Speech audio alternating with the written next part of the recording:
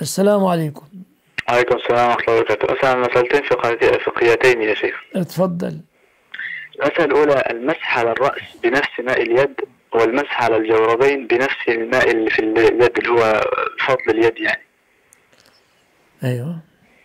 آه، ما ما حكمه هو؟